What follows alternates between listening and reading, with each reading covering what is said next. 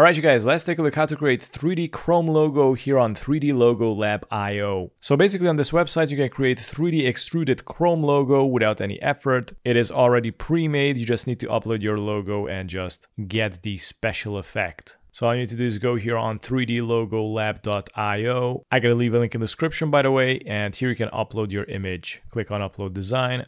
It's gonna pop up this new windows and click on upload image. Now make sure to select a PNG file format. I'm gonna go with this one and click on open and it's gonna load and check this out. It also animated and it's gonna look like this. You also can zoom in or zoom out. And if you wanna export it, you can click on the export and click on export image and it's gonna download, double click. So it looks something like this. And you know, if you wanna make it like bigger, all you need to do is just zoom in and click on export image again. And pretty much that's it to it. Now you also got like a couple of settings and here you got the thickness of it. So you can make it thick or thin. You can extrude it how much you like.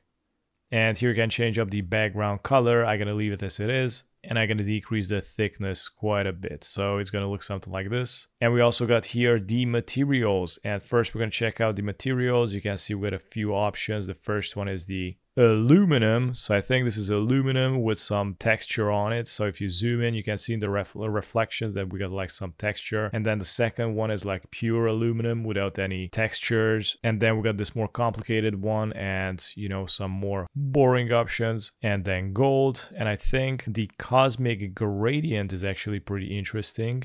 Actually, it's interesting from few angles. So you got like a few colors and mainly that's it. And then you got the animation part here. If you want to access the animation, you're gonna need to go pro and select like four type of animations here.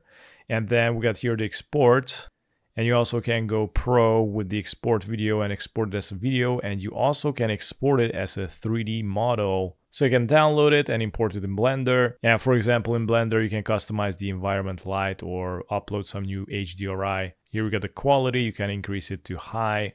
And you got the auto versus portrait. Very interesting. So pretty much that's it. This is like a pretty simple, straightforward chrome effect because it's a huge trend, you know. So if you don't want to take the headache to learn Blender, you can access this website and just create your chrome logo in a matter of seconds. And pretty much that's it. Thanks for watching.